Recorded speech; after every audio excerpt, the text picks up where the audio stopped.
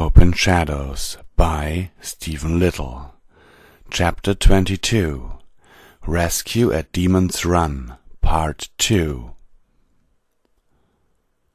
Sir, I don't mean to pester you, but when are we going in? Prince Shining Armor has been holding the line for more than a few minutes now. One of the Lunar Guards asked. Why are you asking me? I'm not in charge, Soren replied. Begging your pardon, sir, but you are the highest ranking pony here. That puts you in charge, Major, the Night Stallion informed him. I'm sorry, I didn't catch your name. Autumn Shade, sir. Soren took a quick look at the stallion's armor to find his rank. I guess I have no choice, Captain, Analyzing the field of battle quickly, Soren came up with the best he could on short notice. Captain Shade, when I give the order, I want all Pegasus to fly straight at the enemy air support. And I don't mean take your time. I want every Pegasus flying like a bat out of Tartarus. But do your best to stay in line with each other.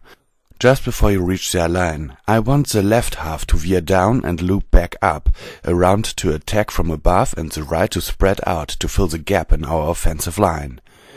Is this a battle strategy or a cloud ball play? One of the stallions from behind asked. Shut up, Starlight, or I'll replace you with your sister Starbright. She at least knows when to keep her ears open and mouth shut. And besides, it would work for both, Autumn Shade told him.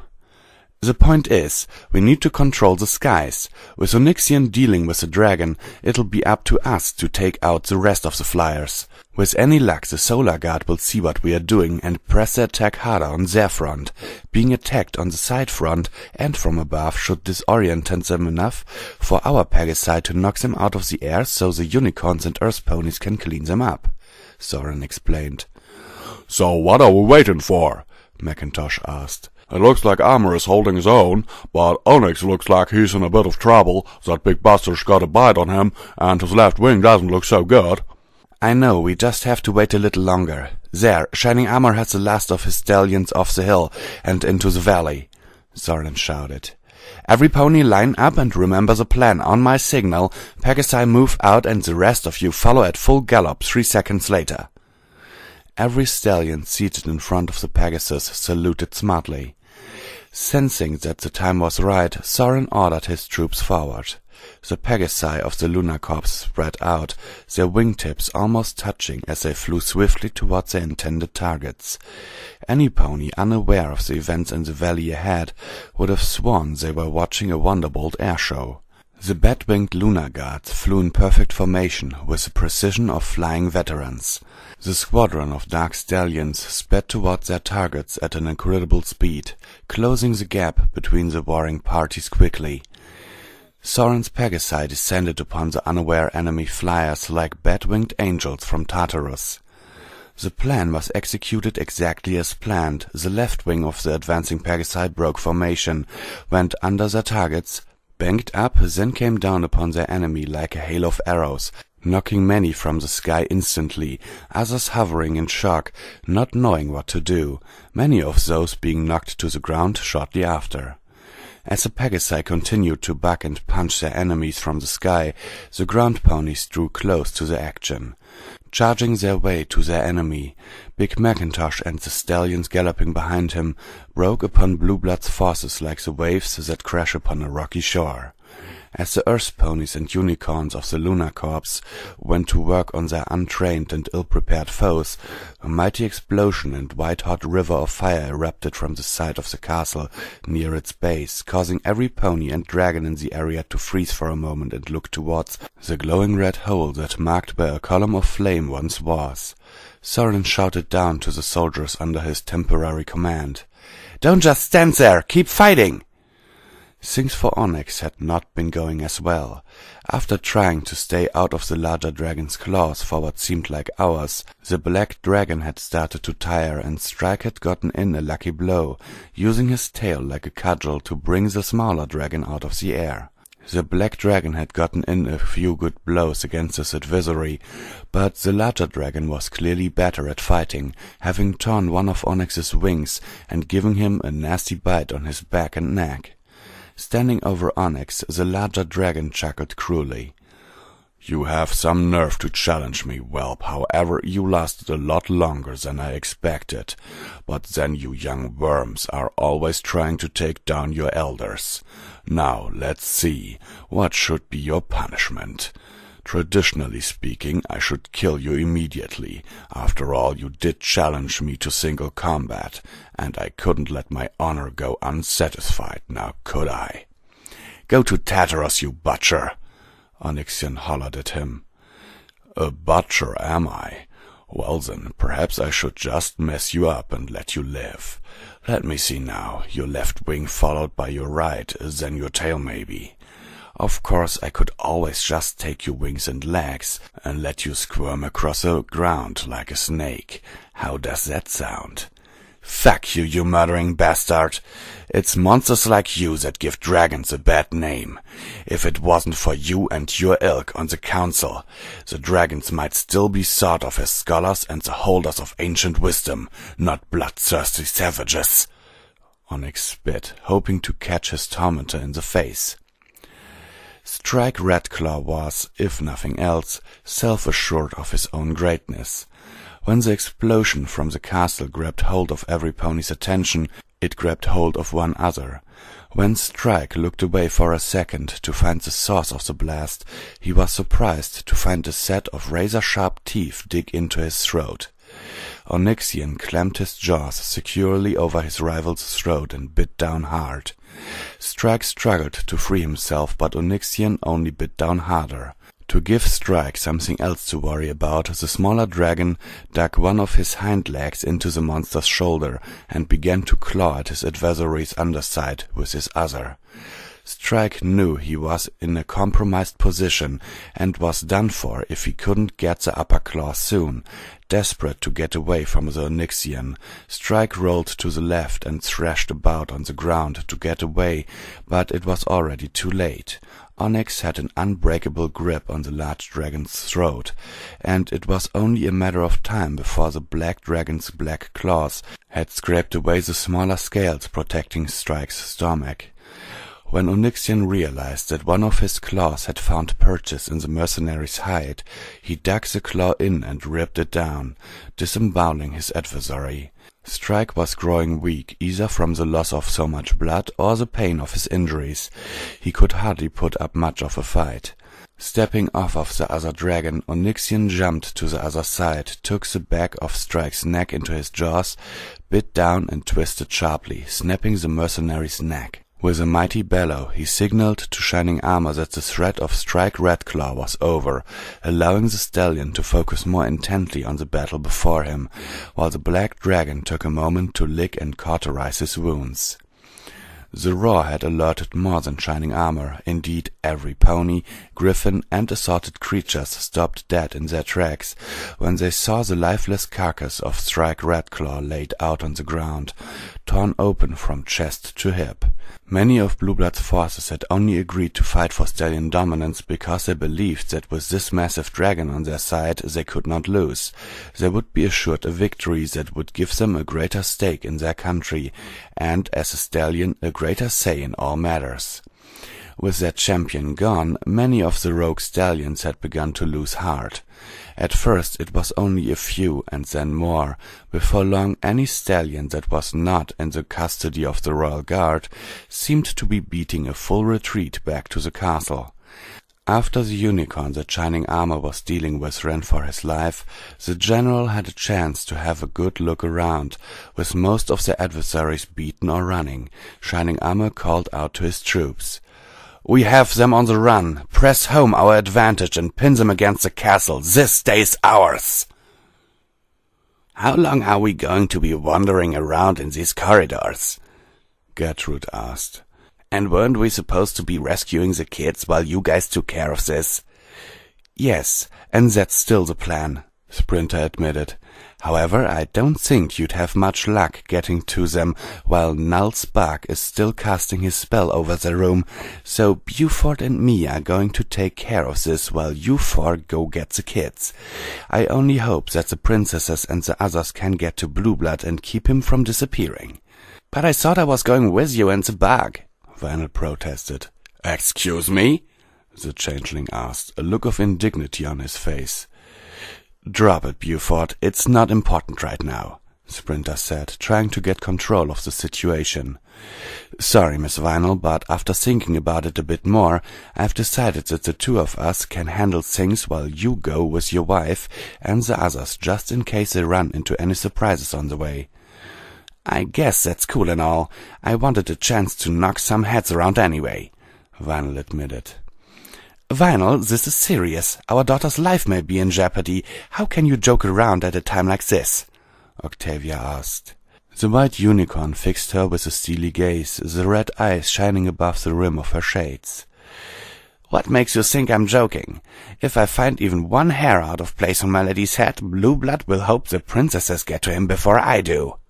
Penelope cleared his throat, breaking the tension of the moment. Mistress, I suppose we should be going. Where is their room again? Down the hall, a second right will lead you to the secondary receiving hall. The kids are in the third room on the left wall, Sprinter informed her. All right then, you boys be careful and meet us in the throne room when you're done, so we can plan our next step, Gertrude suggested. Will do, and you ladies be careful as well, Buford told them. As the stallion and the changeling watched the other four members of their party depart, he turned back to his compariot. Well then, how much longer till we get to this null spark? Actually, we're there. He's in the second room on the left, Sprinter informed him. You could have told us that a little earlier, Buford said, trying to keep his voice down. I'm sure he knows we're here by now. I doubt it, Sprinter told him. He's in a special soundproof room so he can concentrate on casting his spell, keeping the kids helpless. I seriously doubt he could hear a cannon go off outside the door. So, how do we do this? the changeling asked. As quickly as possible, Buford. Tell me something, Sprinter asked. Can you change yourself to look like Blue Blood? Buford smiled, suddenly understanding what the stallion had in mind. Yeah, if he looks like that picture they showed me back at the palace, I think I can do that. Gertrude, Penelope, Octavia, and Vinyl slowly made their way down the hall towards the secondary receiving hall of the castle. Even though they were cautious when turning corners and took care to watch out for guards or other stallions wandering the halls, they found the castle conspicuously empty. Okay, this makes no sense whatsoever, Gertrude said, quickly looking around the corner into the receiving hall. There isn't a stallion in sight, not a single guard. I know what you mean, Vinyl agreed. I mean, if we're even close to where they're holding the kids, you'd think they'd have at least one guard around here somewhere. Rounding the corner into the receiving hall, the three ponies and Griffin noticed again that there wasn't a single guard on duty. Are we sure this is even the right hall? This blue blood doesn't sound like he's dumb enough to leave his hostages unguarded. I can understand why you say that, but you don't know him like we do, Penelope, Octavia told her. Blue Blood is an egoist of the highest caliber and coward to be sure. I wouldn't be at all surprised if he had his stallions either on the field of battle or guarding him. That being said, he has been known to be fairly devious when he puts his mind to it. If he put any forethought into this at all, it would be wise of us to treat carefully lest we are caught off guard by a trap or hidden guards. Hey, Gertrude, why don't you check those doors over there? Vinyl suggested. Oh, that's real funny, the Griffin said, her voice dripping with sarcasm. No, seriously. If it is a trap, you can just hide behind the door, and if there's a guard or something, you could just take them out. Unicorns have to charge up offensive spells, and I'm pretty sure you're quicker with those blades than any of us could be. You have a point, although Penny is pretty quick with her rapier. Okay, I'll check to see if the kids are in any of those rooms. The rest of you should keep a lookout to make sure no pony drops in on us. I think Sprinter said it was that third door, but I'll check them all just to be sure. Gertrude told them. Checking the first two doors, the Griffin found only empty rooms. When she approached the third door, she very carefully cracked the door ever so slightly and looked in through the narrow crack she made. Inside she found all the kids and other captives surrounded by four stallions in lunar armor. Closing the door as quietly as she opened it, she silently called the other three to her. I found them, and Penelope was right. He didn't leave them unguarded. There's at least four guards in there with them, Gertrude whispered to them. I'm sure we can take them out, but I'm afraid they may grab one of the kids before we can get all of them. Then here's what we do. Gertrude, you, Penelope, and Octi rush the room and get everyone out, and I'll keep the guards busy, Vinyl said quietly. And how exactly do you plan on holding that since the magic is being blocked in the room? Octavia asked. Simple, Vinyl said. As soon as you three bust through the door, I'll grab the stallions with my magic and freeze them in place. As long as I stand outside the room when I do it, I shouldn't be affected by the anti-magic thingy the white unicorn said, proud of her plan. And if you can't hold all four? Gertrude asked. Well, um, I guess you can have a crack at whoever doesn't get frozen, Vinyl told her, trying to keep a genuine-looking smile on her face. But remember, Apple Bloom and three of her guards are around here somewhere, so don't kill anyone just in case one of them might be our friend. The small group of rescuers kept close to the door, inching the door open ever so slightly. Vinyl was able to see the location of each of the guards. Every pony ready to do this? she whispered. Gertrude and the other two nodded. The white unicorn took a deep breath and took the plunge. Letting as much magic as she could muster enter her horn, she cast a paralyzing spell on the four guards. Penelope kicked the door open and charged into the room with Octavia and Gertrude in her wake. The scene was pandemonium. The sudden entrance of the four rescuers and the blue glow around the guards had sent the captives into a scared panic, believing Blue Blood had found them out. Gertrude and Penelope split up as soon as they had entered the room, the mare heading for the children while her maid checked to make sure the four guards were restrained. Octavia made a beeline for her daughter, tackling her with a crushing hug only a mother could give. Melody, Melody, my baby, are you okay? Are you hurt? Mother, mother, what are you doing here? Did they capture you too? Melody asked, hugging her mother with a desperate need. No, baby, we're here to save you, her mother answered. After making sure everyone was secure, the griffin pounced to the middle of the room. Octavia is quite correct. The lovely mare of there's Penelope. My name is Gertrude, and we'll be saving your flanks today. Now that that's out of the way, would you all kindly stop panicking and tell me if there are more guards in this room or coming to relieve these boozons soon? Gertrude, Penelope, is that really you? Ditzy asked, not believing her eyes. Yes, Ditzy, it's us. The doctor asked us to help rescue you and the rest of his family. I guess he finally got around to telling you how he felt. Penelope said. Yeah, this is all very nice, but we really need to get going, Vinyl informed everyone as she walked into the room. Vinyl, don't! Octavia called out. If you enter the room, the spell will be blocked.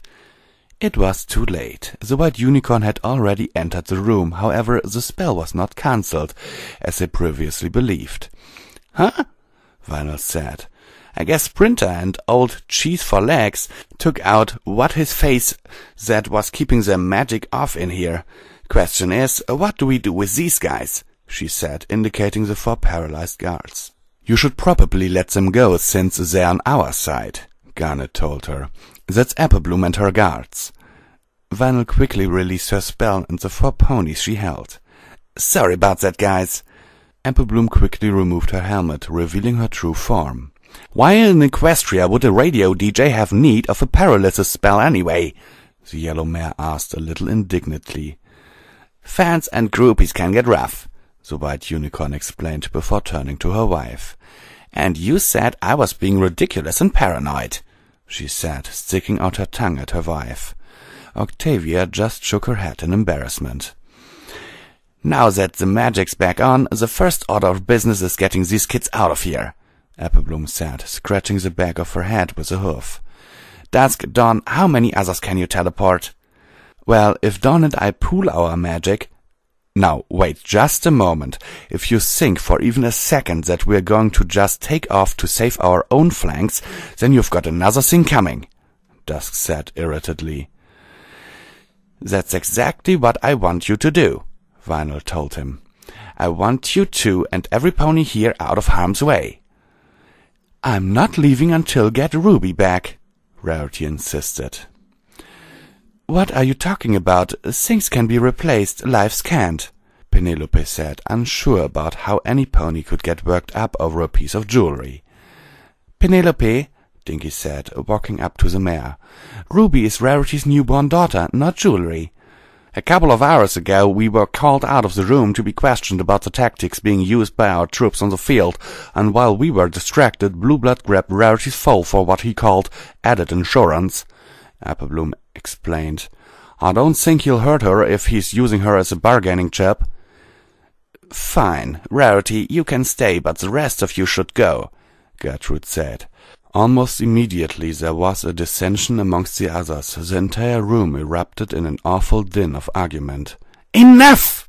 Octavia shouted. The abrupt outburst was enough to bring the quarreling to a sudden halt. Composing herself quickly, Octavia adjusted her pink bow tie and addressed the room. I know that you all want to help, but in this instance it would be more of a hindrance to have you here. If Blueblood or any of his cohorts were to get a hold of any of you again, he could use you as leverage against us. If you really want to help, then go. It'll do us a world of good to know that you're all safe. Octavia's right, but I'd like Belle, Garnet, and Scootaloo to stay. They're all experienced fighters and can be of use. Agreed, Vinyl said with a nod. It's not happening, Aiden stated calmly. Applebloom was about to say something when the prince held up his hoof. I agree the children should go.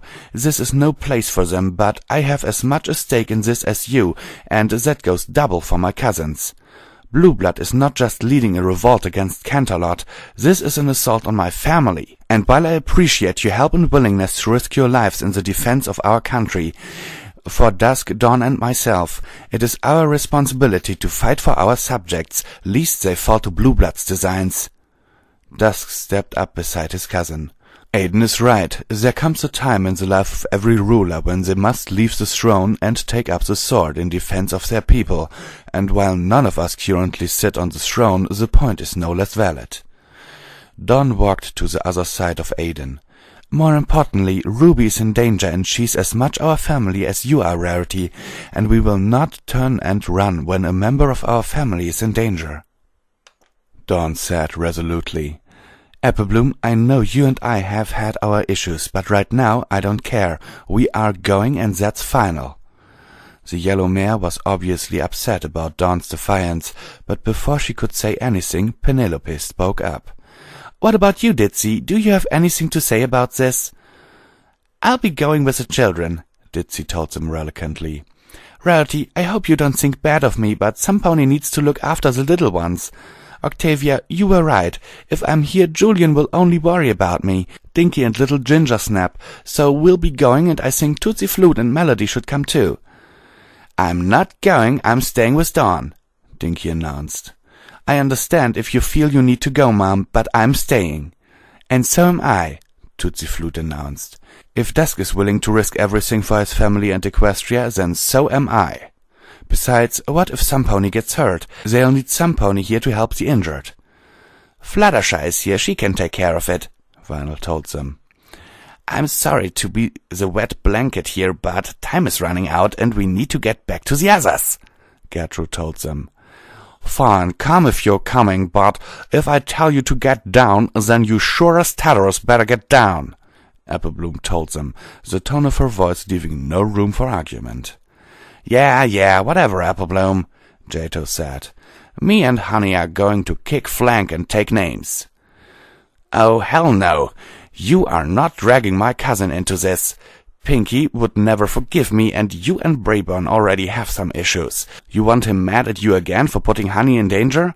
You let me deal with my dad, Applebloom. I'm staying, and so is Jato. Our parents are element bearers, and if we cut and run, how would that look? Honey asked. My parents always told me to stand up for what I believe in, and I'm not going to run away from some overstuffed jerk just because he thinks mares are mean to him. Fine, Applebloom said. But you two stick close to me, and I mean what I said earlier. I give you an order, and you'd better follow it. Melody sidled up to Aiden and lightly tapped him on the shoulder. If it's okay with you, I'd like to come with you, she told him. Octavia and Vinyl were about to protest when Aiden shook his head slowly. No, Melody, you should go back with Mrs. Ditzy and the children. The poor white mare was shocked by the prince's words. You mean you don't want me with you? I thought, I mean... Melody was interrupted by a sudden kiss to her forehead. Melody, you are a very special mare, and I would never forgive myself if something happened to you. But I want to help you, Melody said softly. Melody, can you fight? Have you ever been in a fight? I'm not saying this to be mean, but that's what's happening here. We are going off to fight, and to be completely honest, some of us might not make it back. I have no idea what I'd do if you were one of them. Aiden told her. Leaning closely, he whispered into her ear. Besides, Miss Ditzy is going to need help. It's just going to be her with the children, and even though she's masking it well, she's scared to death, so please go with them and help her, okay? Can you please do that for me and your mothers? Okay, but you totally owe me dinner when you get back, and you had better come back, she said, giving him a chaste kiss on his cheek. Taking her place with Ditzy and the children, she waved goodbye as dusk and dawn teleported them back to the castle nestled in the everfree forest. As the ponies walked from the room they were imprisoned in, Aiden found himself flanked by Melody's mothers. Thank you for that, Aiden, Octavia told him. I feel much better knowing that she's safe. That being said, Vinyl piped up, what exactly are your intentions towards our daughter? I assure you, madam, my intentions are pure. I have no intention of plucking her innocence. After all, we only had a few days to talk and have not even been formally introduced. Of course, when all this unpleasantness is over, I will formally be asking for permission to court Melody, he told them matter-of-factly. Hey, Octi, didn't you say something similar to my parents when we started dating? Vinyl asked. Indeed, and if I remember correctly, that was the same time you convinced me to stay the night at your place, Octavia said, staring a hole through the younger stallion.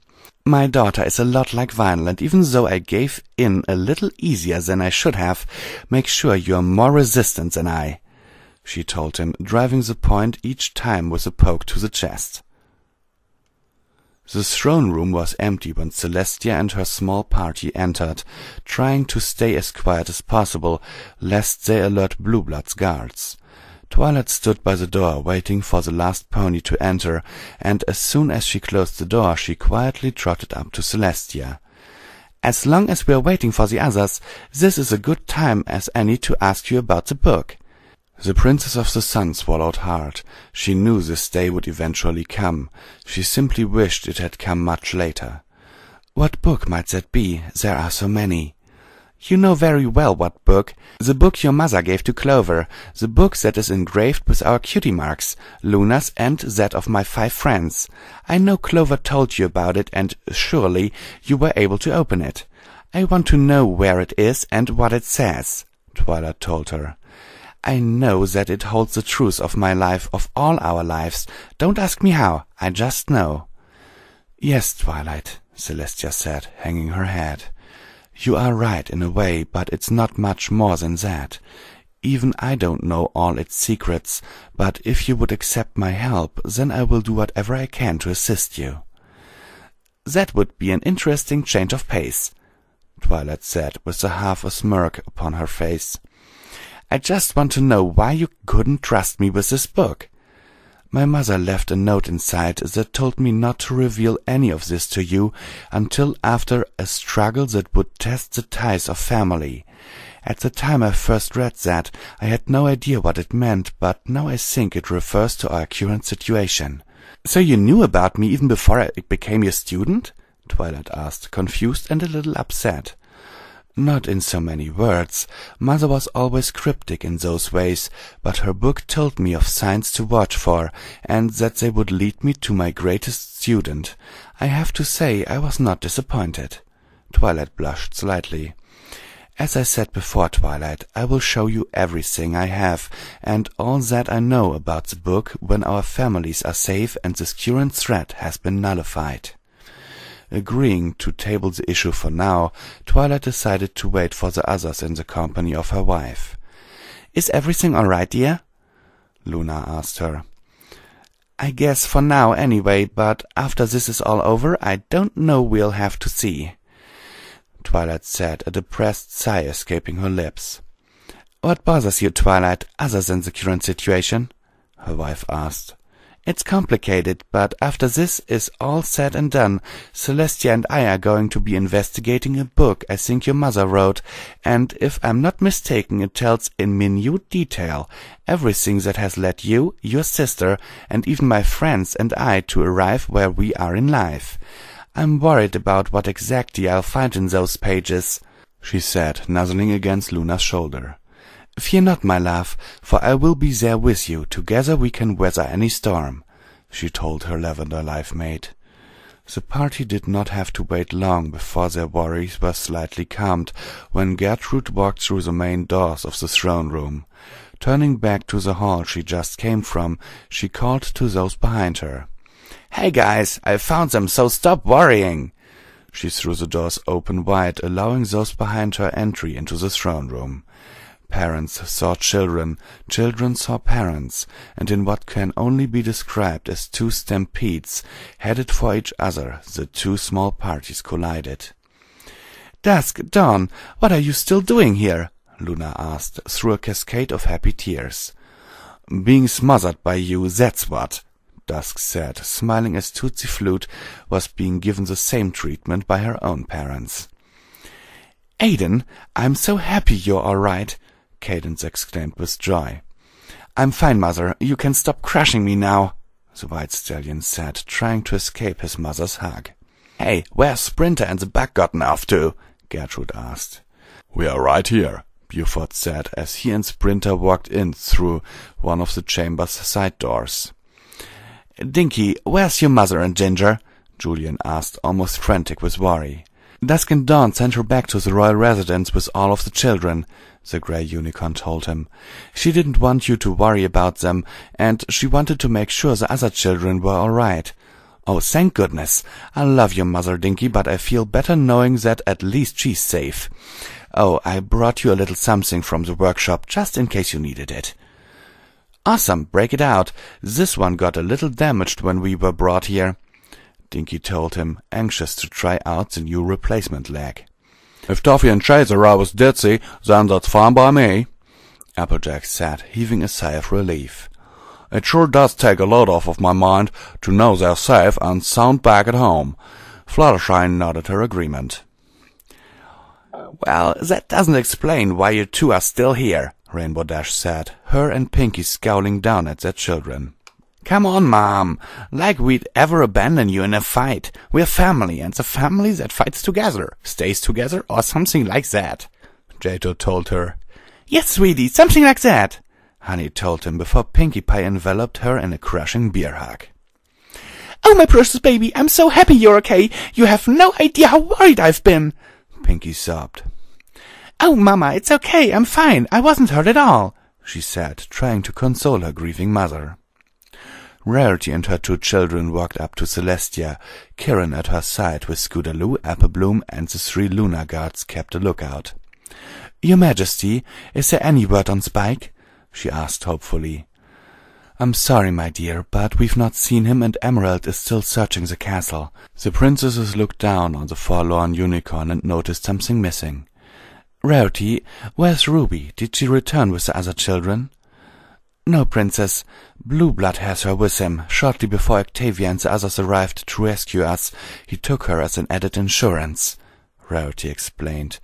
Oh, Princess, I'm so worried. There's no telling what Blue Blood might do to her. Kirin could see that the unicorn's mind was concentrating on more than the safety of her child. I would tell you not to worry, Rarity, but false hope can be cruel in its own way. However, I can promise that we will do whatever we can to return your foal to you, the Draconicus said, trying to reassure her. I take it that Gertrude told you about the, what we found earlier? the Solar Princess asked. Rarity could feel the tears welling up in her eyes.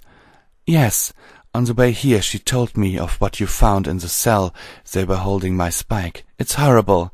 How could any pony commit such horrible atrocities to another living thing? It's not that hard once you get the hang of it, Blue Blood said, stepping out from a secret door behind the throne, along with fifty of his private guard.